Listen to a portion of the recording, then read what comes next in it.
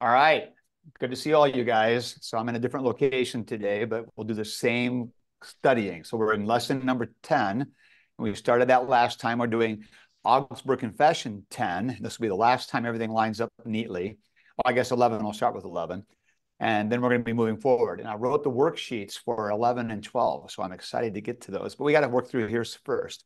So we're talking about the Lord's Supper or Holy Communion. We just started it last time. And I asked you to do some homework to tell me about which name for communion you liked best and why that is. So let's hear from each of you on that one. So who's going to go first here? Titus? Yes. I prefer the sacrament of the altar. I like this title because it lets no room for heresies like it is not really a true sacrament.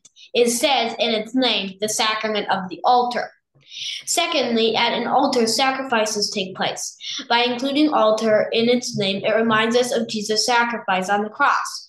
It is also important to remember that it is not a sacrifice, because a sacrifice is something we do for God.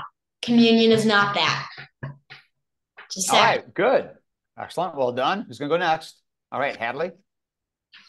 I like the name um table of the Lord because it's the Lord's table in which we eat. Because the disciples on the Last Supper gathered around the table to eat with Jesus. Excellent. Very good. Excellent. Okay, who's up? Next, Jude. Eucharist is my favorite term for communion. This is so because it is a Greek word. It also reminds us that communion is a sacrament, not a sacrifice from us. For the only thing we can give God is thanks, and Eucharist means I give thanks. If you say Eucharist quickly, it sounds like you in Christ. It also is also an intelligent sounding word. yeah, I think that's why you like it, Jude, right? Because it's Greek and it sounds intelligent. All right, those are good answers. Those are good reasons, though. That's great. Oliver? Um, I chose breaking of the bread. I like it because how it actually sounds like holy, and you know, God actually did it, so that makes it sound like it's an appropriate name for it. Um, and it sounds like it it will give those means of grace that are given through the sacrament of the Lord's Supper, and um, it also includes one of the worldly elements in baptism in it, which is bread the bread. Uh, yeah, Lord's Supper. Yeah. Outstanding. You guys each chose a different one without even talking with each other. That's really good. And you all gave good reasons why you like those names. I think you're on right on the right track. Well done. Good job, guys. All right. Now we're going to start by looking at the Bible. So we've got to look at two verses here. The key verses.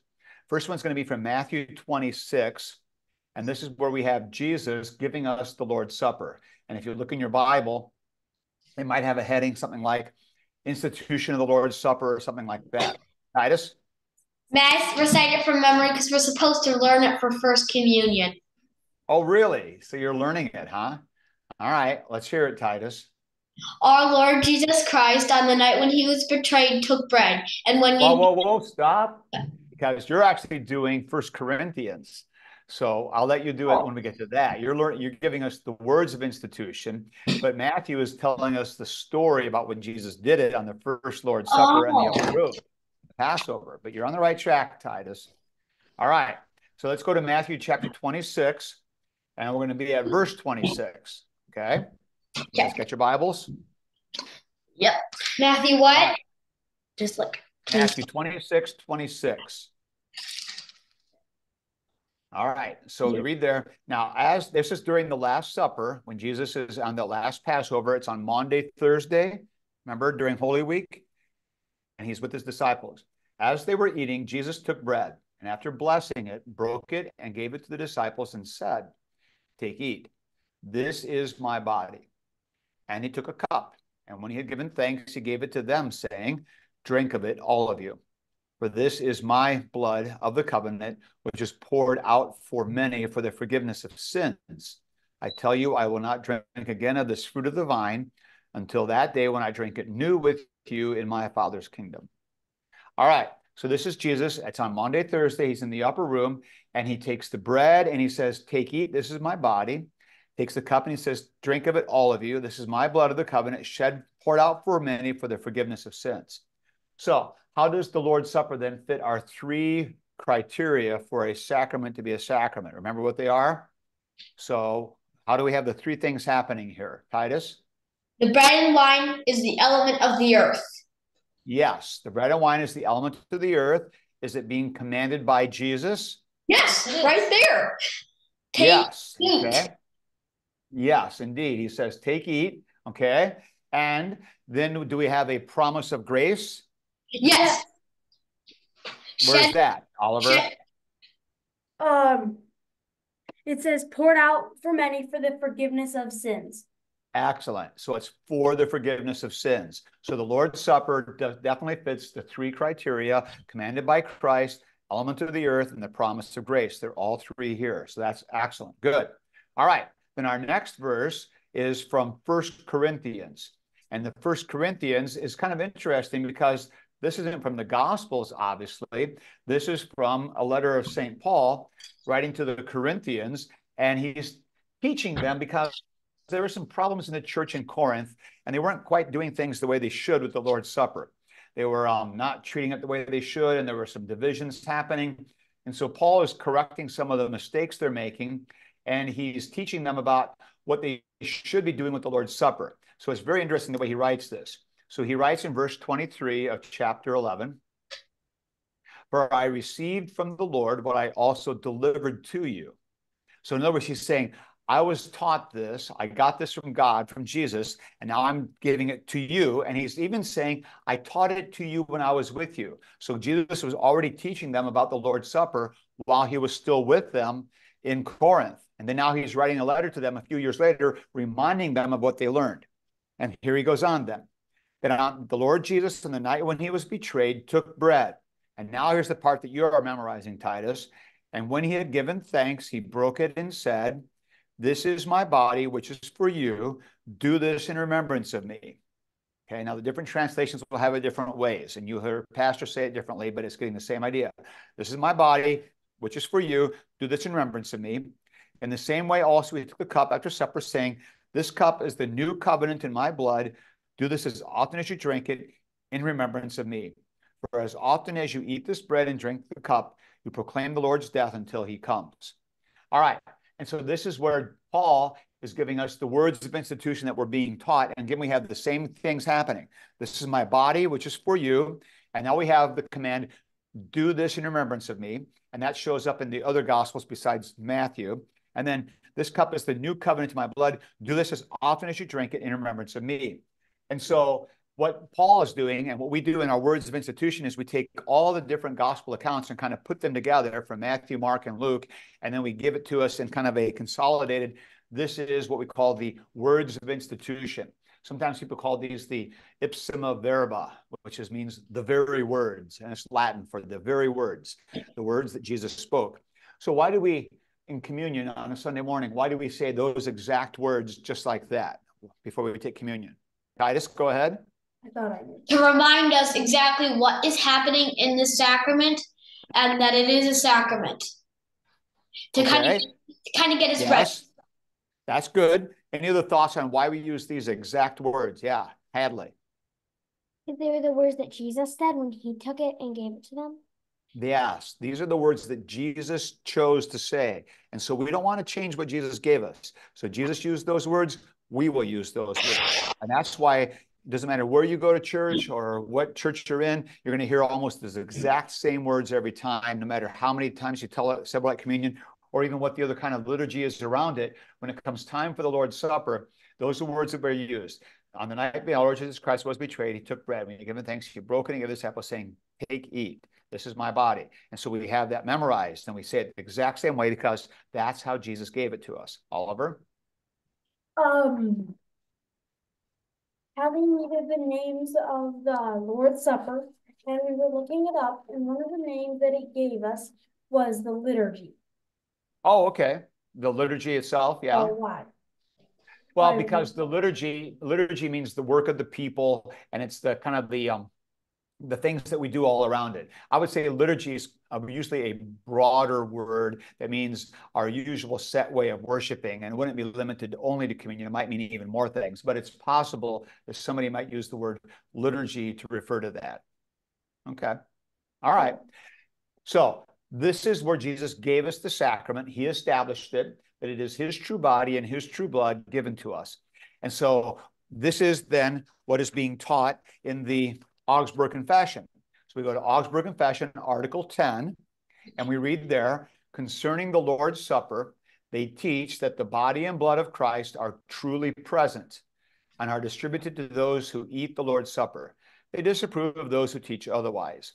So, how do we why do we believe that Jesus Christ is truly present? Because he said, This is my body, this is my blood. And as Luther taught very clearly, is means is. And so if Jesus says, This is my body, then it really is his body. And if he says, This is my blood, then it really is his blood. Oliver. So then, if um like another religion or something does not believe that the bread and wine is actually his body and his blood, um the Bible says it is his body and, and is his blood, and no doubt about that, it is his body. Right. That's exactly right. And that's why we teach it. Now, does it make sense that Jesus could put his body and blood into a cup that looks like bread and wine? No. Not really. But why do we believe it then? Because he said the it. Bible says so. Because he said He so. said Because himself. Jesus made the promise. We don't have to understand it. It doesn't have to make sense. We believe it because we trust the promise of Jesus. Go ahead, Titus. Um, probably some of those um thoughts that if it doesn't make sense in my brain, then it's probably not true, came from Thomas Aquinas. Because Well, he, he didn't Thomas Aquinas was he he was a very careful thinker and he thought about a lot of things and he wanted things to make sense. But Aquinas also knew that there were things we can't understand about God, and he was willing to admit that. people people came along and did not understand that, so they thought, oh, that means if it doesn't make sense, it's not true. That's not Yeah, what that thought, is- that's what people came to believe. Well, there are a lot of people who still think that, and a lot of Christians who think what God does should make sense to me. And so, what they're really doing is they're saying that God should do things the way that they think He should do them, the way that makes sense to them. But God never promises to do things the way we like or things that make sense to us. He prom- He just does what He wants to do, and whether or not it makes sense is not the criteria. Whether or not it's true, even though some people think maybe it is that way. Oliver. Um, so the thing that that the saying, which is some people say seeing is believing, um, does that a little bit have to do with the um what you were just talking about before? Yeah, exactly. Seeing is believing. Or in Missouri, some of you know that the state motto is the show me state, which means I've got to see it to believe it. Prove Which it. is not a good thing. No, not necessarily a good thing. And that works fine for some things, but when it comes to theology or to God's truth, the show me idea is not good. And the idea of seeing is believing is not good. We believe and then we are able to see. So believing is seeing is really how we would talk about it as Christians. All right. Now, what Luther teaches in his small catechism then is that Jesus is truly present. And he uses the phrase that Jesus is present in, with, and under the bread and wine. You remember learning that from the small catechism? That Jesus is present. That's for your blanks to fill in there on your worksheet. That Jesus is present in, with, and under the bread and wine. So, what do you think? What does it mean to say that Jesus is present in, with, and under the bread and wine? What's that mean? Titus? Means he is in the bread and wine through and through, no doubt about it. He's always there, everywhere. Correct. Yes, he is there through and through, always there. Is it? Does that mean that if you crack open the bread, you'll see Jesus' body? No, No. No. Does it mean that if you look underneath the paten, that's the little plate that they have the bread on, that you'll see Jesus' body underneath it? You look under it, it? No. In, with, and under is just Luther's way of saying, I'm not really sure how it works, but he's there. And so Okay. he's not he's not trying to explain it. And this is very important. So what does exactly does this mean? What this means is that Jesus is present because he promised it and we believe it. We don't have to explain it. When you try to explain how Jesus is present, you usually get into trouble. But we don't explain it. And we don't say, well, Jesus is present because, or it works this way. We just say, no, he's promised to be there. And if Jesus is there, all of Jesus is there. And remember, Jesus is always true God and true man together. And so if Jesus is present, that means he's present with his body and his blood and his whole person. He's always present. Okay? So that's what we mean.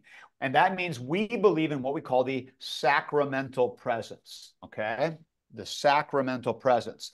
And that means that Jesus is present with his body and his blood in a sacramental way. We don't understand it. The bread doesn't taste like body, and the wine doesn't taste like blood and it's not like the bread and wine somehow magically changes into um, uh, the the body that we're kind of chewing on like a finger or something kind of that'd be kind of gross but what we believe is that jesus is present with his true body and blood in a sacramental way that we can understand and we trust that promise of jesus that that's what's going on and again this is the last blank there we believe this because of jesus promise because jesus has said it we believe it Titus, you got a question?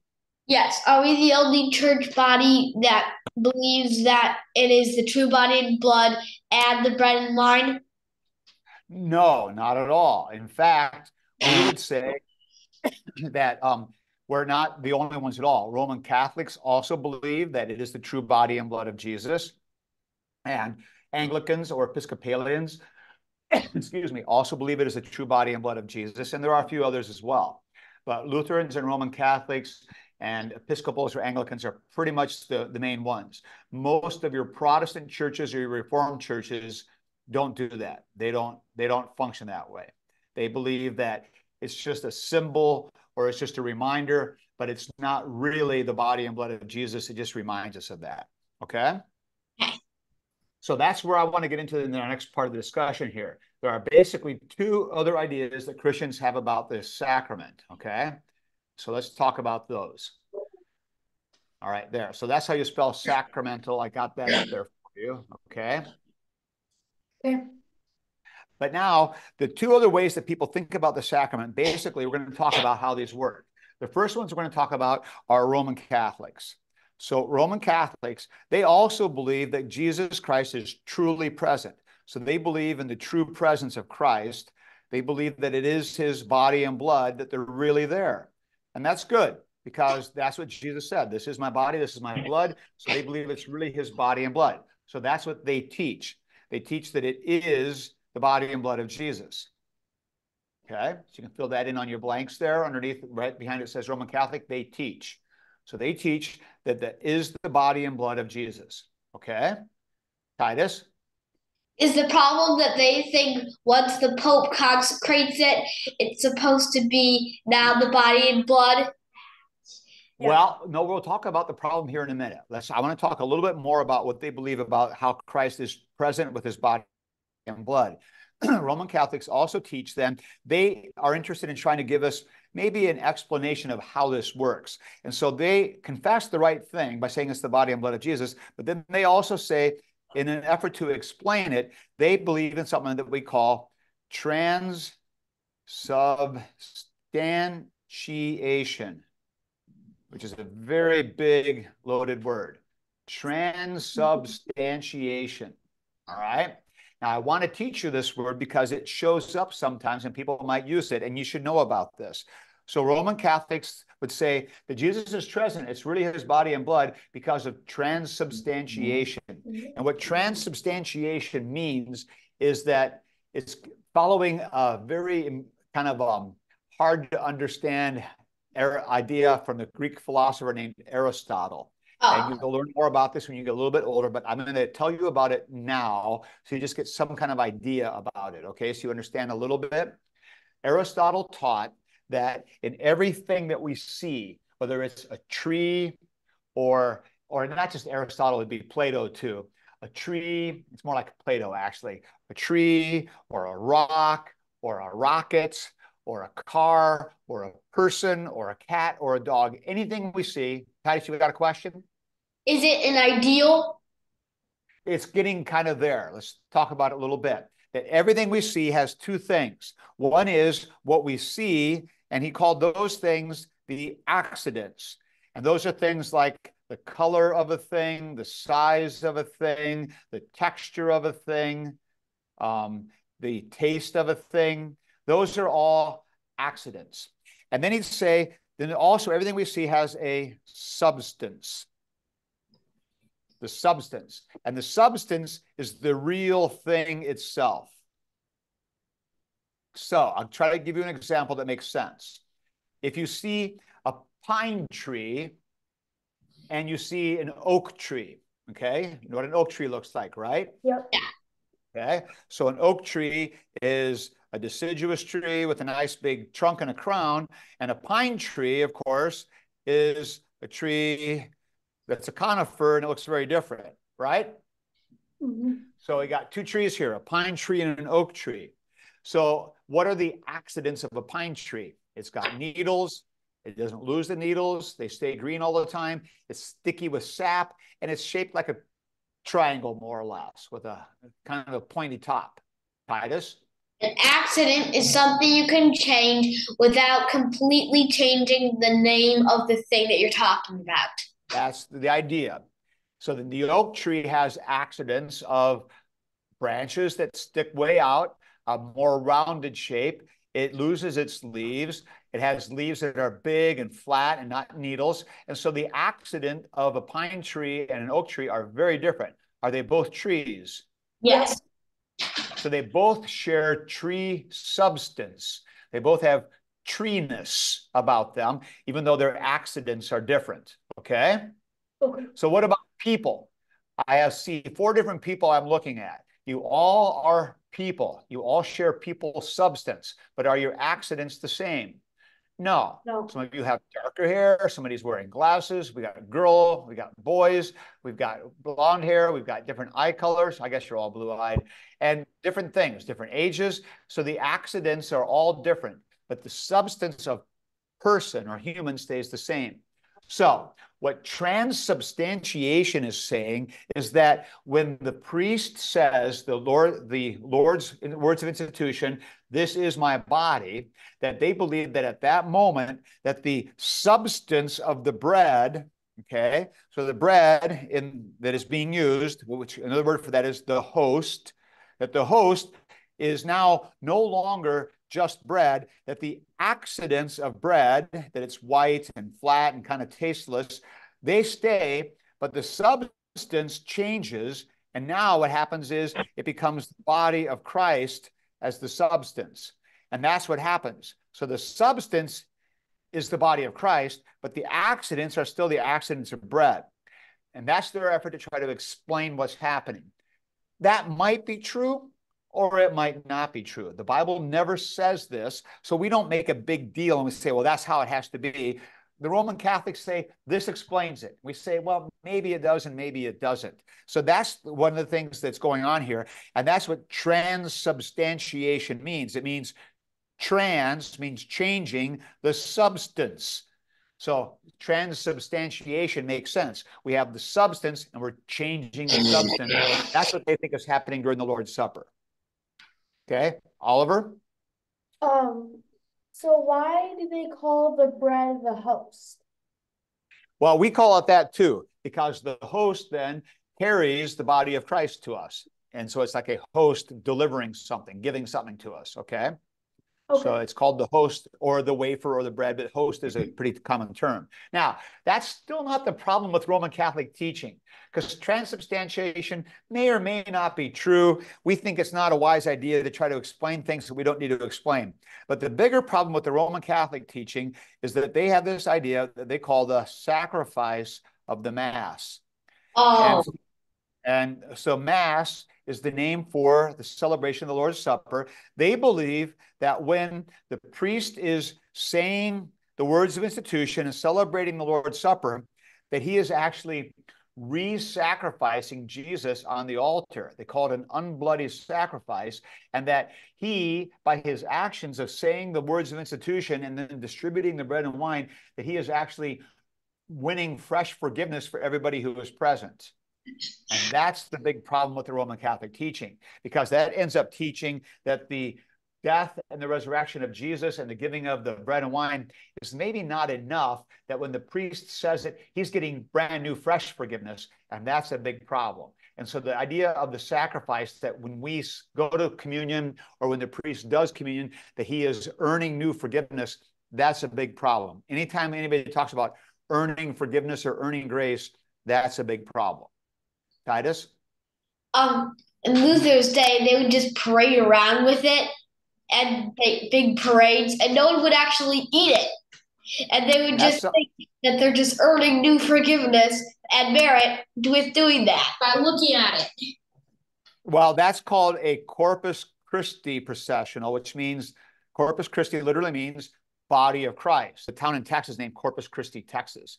And so that means body of Christ. And so the body of Christ is a, a processional where you take the words, the body, the bread, and you parade it around. And that's kind of misusing the sacrament as well. But the biggest problem is this idea that we are earning new forgiveness. And if the idea that we're going to win fresh forgiveness, we're giving a sacrifice that wins forgiveness from God, that's a problem. And so that's the biggest problem with Roman Catholic teaching. Okay. Now, Reformed people or evangelical people, and that means most Protestants like Baptists or Methodists or um, Presbyterians, they also have different kinds of teaching about the Lord's Supper. They would say, and they vary in this, but broadly, most of them would say, especially a Baptist would say, that the Lord's Supper is a special meal and it's a symbol for believers of the presence of Jesus. And so they would say that when Jesus said, This is my body, he didn't really mean is, he meant represents or symbolizes. And so that the bread makes me remember and think about Jesus. And then the wine makes me think about the blood of Jesus. And then it's a nice symbol. And for them, the Lord's Supper then becomes a reminder of what Jesus did for them. And it makes them feel good to remember that Jesus loves them so much but they don't really believe it's the body and blood of Jesus. Okay? So they teach that it's a symbol for believers. Titus? We have a Bible that um that the little guys that the daddy said to us reads to little guys, and it's actually um evangelical, and they say um, this is like my body and this is like my blood. And daddy has to switch it every time they get to the story.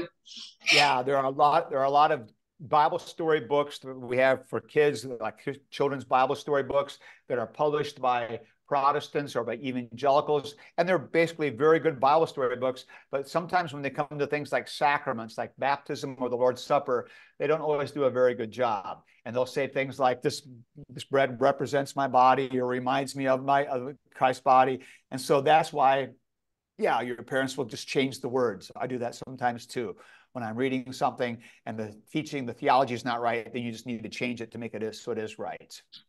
All right. Now, the big problem though, so what's the problem? It's not just a symbol. It is the, really the body and blood of Jesus. But the bigger problem with the Reformed teaching is not just that they believe it's not really the body and blood of Jesus. That's bad enough because they're not recognizing Christ is there because he promised to be there. But the even bigger problem is that they believe that Jesus is only present if you believe. And so they make it something that I have to do, that my faith makes it work.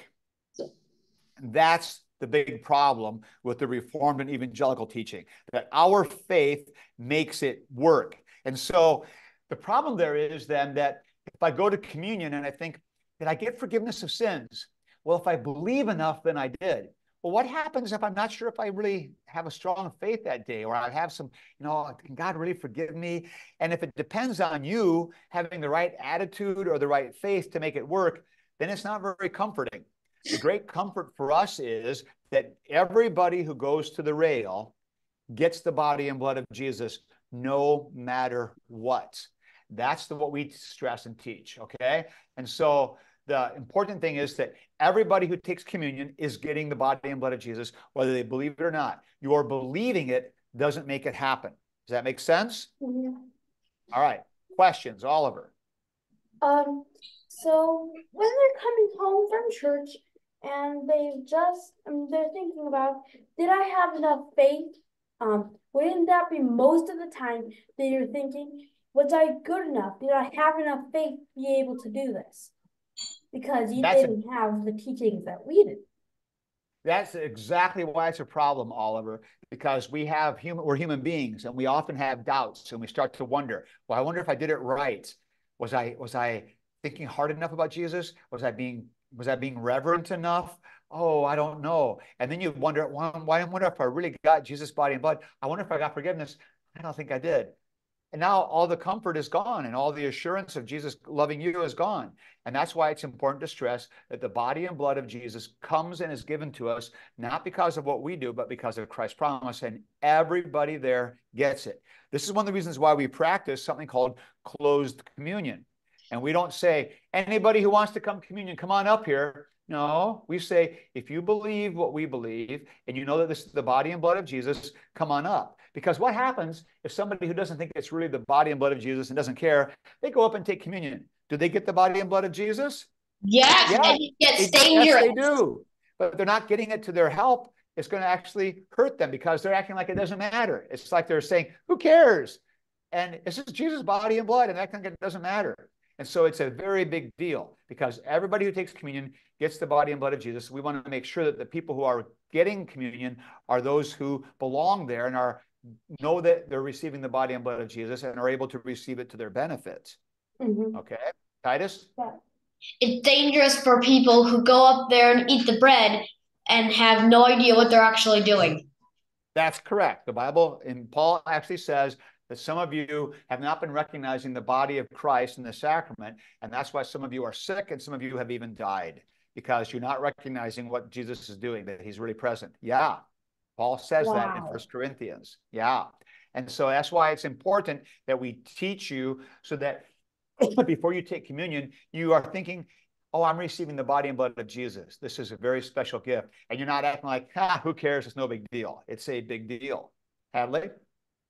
So do they like because they ate that sacrament, do they like die? Well, St. Paul said that that was happening to some people in the church in Corinth. And can that still happen today? It's possible. And I don't know that it's happened. I can't think of a time I could say, oh, this happened one time. A guy came to communion and he dropped dead at the altar. But it- it's possible.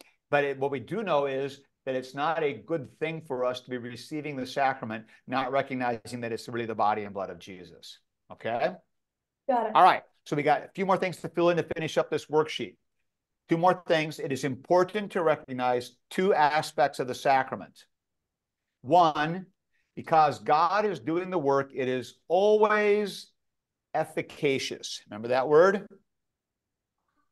Okay. So I'm going to remind you of that word. I'll put it up here. I'll I'll put that one in the chat box for you. Okay. Give me just a second here.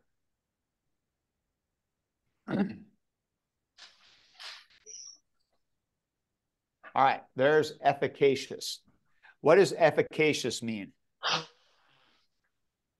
Uh, efficacious means, it means efficient. yeah, you're on the right track. It means it effects things, it makes things work. Oh, Yeah. It always works. So efficacious effects things, it makes things happen.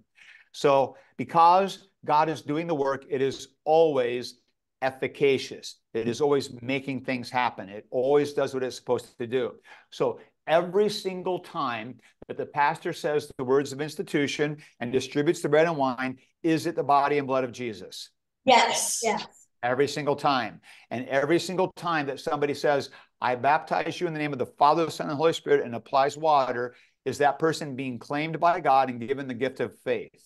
Yes. And giving the gift of the Holy Spirit and the gift of God's forgiveness? Yes, every time. Okay? Because God has promised it. That's how it works. God is doing the work, it is always efficacious. And when faith is present, this is part two. When faith is present, then the sacrament is not only efficacious, but it is also beneficial. And so it is benefits me. It is good for me. It gives me a good gift. That's the difference. Whereas you have a unbeliever who goes up to communion and receives the body and blood of Jesus, but doesn't think it's any big deal, doesn't believe, doesn't care. It's not beneficial to them because they don't have faith to receive the benefit. So faith doesn't make the sacrament happen, but faith does make the sacrament beneficial and worthwhile. Does that make sense? Mhm. Yes. So faith is important, but faith doesn't create the sacrament. Okay, Hadley. That's why when we were visiting a new church somewhere, I think it was in Florida or somewhere, um, because we were going on vacation. That's why Daddy had to tell the pastor that we were okay to eat communion. Yeah. That's exactly right. Because you were doing a courtesy, and that was right for your dad to do that, to talk to the pastor and let them, the pastor know who you were, so that he would know it's okay to commune you because you're part of what we confess and believe here. We're part of the same church together. That's right. Good. So the sacrament works because God promises and faith receives it, so it's beneficial. So the last question here, why don't young children receive the Lord's Supper? Titus? Because they might not know what's going on. Okay. Do they does making do they does knowing what's going on make the sacrament happen for them? No, but it, but they don't get the benefit. Exactly. Good. Oliver, what were you going to add in there? Nothing. Okay. Both the same things that Titus said. Okay. Good. Yeah. So go ahead, Hadley. So, and that, like we talked about, it could be dangerous because they don't know what they're doing. Oh, yum, just a snack. Go, go, go. Yum, yum, yum. That's right. And so we don't just give it out in a, in a careless way. The other thing to remember is that St. Paul says in First Corinthians, when he's teaching these church, these Christians in Corinth, how to celebrate the Lord's Supper the right way, he teaches that a man should examine himself before he takes communion and make sure that he is he's repentant and ready to receive the sacrament with faith and to his benefit. And so the problem with a two-year-old or a baby is they're not old enough to examine themselves. They probably And can't so even talk as well. That's exactly right.